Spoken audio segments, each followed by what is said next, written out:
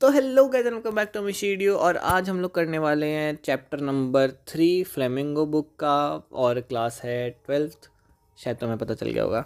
और समरी करेंगे बेसिकली आज उसकी। तो बेसिकली अगर तुम्हारा एग्ज़ाम पास है ना, तब ये वीडियो देखना। अगर पूरे पूरी एक्सप्लेनेशन की वीडियो देखनी है तो लिंक डिस्क्रिप्शन में मिल जाएगा। या फिर इन सब की मैंने प्लेलिस्ट बना रखी होगी, दोनों चीज़ों की एक्सप्लेनेशन और समरी की तो वो भी चेक कर सकते हो तुम लोग चैनल पे। चैनल पे एक बार ज़रूर विज़िट करना यार अगर तुम लोग आए तो। और अगर तुम लोग नहीं हो तो। क्योंकि अब मेरे को ऐसा लगता है कि मैं ना अच्छी वीडियोस बनाने लग गया हूँ, पता है। एनीवेज हम लोग स्टार्ट करते हैं। तो बेसिकली ये स्टोरी एक ऑटोबायोग्राफी है विलियम डगलस की। तो बेसिकली उनको पानी का फोइबा है, फोइबा कह सकते हैं इसको। ठीक है तो जब वो तीन या चार साल के थे ना, तब वो लोग बीच पे जाया करते थे अपने पापा के साथ कैलिफ़ोर्निया में। और जब पानी उनके पैरों को छूता था ना वेव्स आती थी तो उन्हें बहुत डर लगता था उससे। और उसके पापा इस बात को मज़ाक मज़ाक में उड़ा देते थे। तो कुछ सालों के बाद उनके मन में इच्छा हुई कि हाँ चलो मैं स्विमिंग सीखता हूँ। तो पहले वो याकीमा रिवर पे जा रहे थे बट उनकी मम्मी ने मना कर दिया। फिर वो उन्होंने पूल डिसाइड किया। Y M C A club का यंग मैन एसोसिएशन समथिंग नाम है इसका। और ये पूल उन्होंने क्यों चूज़ किया? क्योंकि एक तो इसका जो स्लोप था ना, वो बहुत कम स्लोप थी। और ये सिर्फ़ नौ फीट तक ही था। तीन या चार फीट से लेके नौ फीट तक था। तो वहाँ पे वो दूसरों को देख देख के स्विमिंग सीखते रहते थे मतलब करने की कोशिश करते रहते थे। और एक दिन क्या हुआ, एक दिन एक लड़के ने ना मज़ाक मज़ाक में उन्हें धक्का दे दिया, तब पुल में कोई भी नहीं था और वो ना डूबते गए।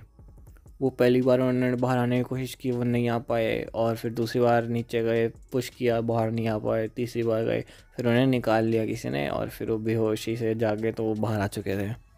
तो वैसे बहुत अच्छे से एक्सप्लेन किया हुआ है बुक में बट यहाँ पे जल्दी जल्दी बता रहा हूँ। तो इस इंसिडेंट के बाद तो उनके दिल में डर बैठ सा गया था, लेकिन उन्हें फ़िशिंग करनी थी और स्विमिंग करनी थी नेचर में जाके। तो ये जो इंस्पिरेशन थी ना, वो काफ़ी काम आई उनके और उन्होंने अल्टीमेटली स्विमिंग सीखी। उन्होंने कैसे सीखी स्विमिंग उन्होंने एक इंस्ट्रक्टर लगवाया।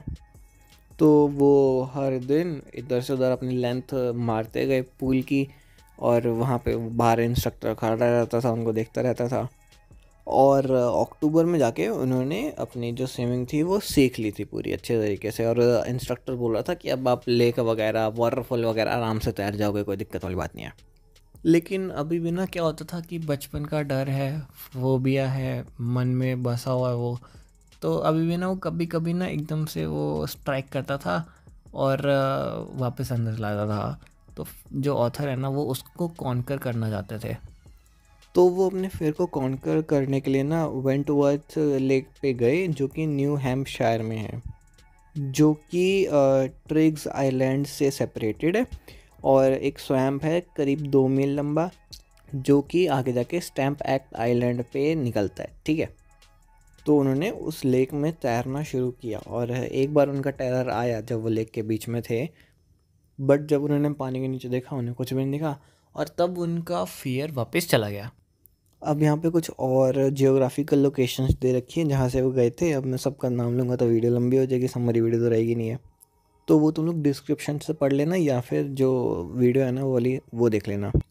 तो एंड करते हैं। जो ये एक्सपीरियंस था ना, वो काफ़ी इंपॉर्टेंट था ऑथर की लाइफ के लिए। इससे ना उनका जो टेरर था, वो फाइनली बिल्कुल ओवरकम हो चुका था। तो उनको अभी रियलाइज़ हो गया था कि मौत डेथ जो है ना, वो पीसफुल होती है। लेकिन डेथ का जो डर होता है ना, वो पेनफुल होता है। तो बस अब उन्होंने अपना फेयर कॉन्कर कर लिया तो अब वो सारे काम करते हैं, वो स्विमिंग भी करते हैं, पहाड़ों पे भी चढ़ते हैं लेक में भी जाते हैं फिशिंग भी करते हैं, सब कुछ करते हैं। तो बस यही थी समरी इस चैप्टर की। अब अगर तुम नए हो तो प्लीज़ एक बार चैनल को विज़िट कर लेना, देख लेना क्या तुम्हारे इन्फॉर्मेशन कुछ निकल आए एक बार डिस्क्रिप्शन भी ज़रूर पढ़ लेना यार। और अब मैं आपको मिलूँगा किसी नेक्स्ट वीडियो में। तब तक के लिए बाय सायोनारा